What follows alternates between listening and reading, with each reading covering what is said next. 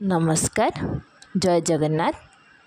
ଆସନ୍ତୁ ଜାଣିବା ପ୍ରଭୁ ଶ୍ରୀକୃଷ୍ଣଙ୍କ ଜନ୍ମ ବିଷୟରେ। ପ୍ରଭୁ ଶ୍ରୀକୃଷ୍ଣଙ୍କ ଜନ୍ମ ମଥୁରା ନଗରୀର କାରାଗାରରେ ହୋଇଥିଲା। ତାଙ୍କ ଜନ୍ମଦାତାଙ୍କ ନାମ ଥିଲା ବାସୁଦେବ ଏବଂ ଜନ୍ମଦାତ୍ରୀଙ୍କ ନାମ ଥିଲା ଦେବକୀ। ଶ୍ରୀକୃଷ୍ଣଙ୍କ ଜନ୍ମ ମଥୁରା ନଗରୀରେ ହୋଇଥିଲେ ମଧ୍ୟ ଲାଳନ ପାଳନ ଗୋପପୁରରେ ହୋଇଥିଲା। ସେଠାରେ ତାଙ୍କର ପାଳିତ ପିତା ଥିଲେ ନନ୍ଦରାଜା ଏବଂ ମାତା ଥିଲେ ଯଶୋଦା।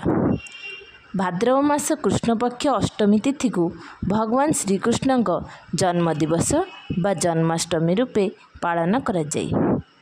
ମାନବ ଜାତିର ଉନ୍ନତି ପାଇଁ ଭଗବାନ ଶ୍ରୀକୃଷ୍ଣ ଭିନ୍ନ ଭିନ୍ନ ଭୂମିକାରେ ଅବତୀର୍ଣ୍ଣ ହୋଇ ଲୀଳା କରିଥିଲେ। ପ୍ରଭୁ ଶ୍ରୀକୃଷ୍ଣ ହେଉଛନ୍ତି ଅଚ୍ୟୁତ। ଅର୍ଥାତ୍ ଜୀବଜଗତର କାହାଠାରୁ ସେ ବିଚ୍ୟୁତ ନୁହନ୍ତି।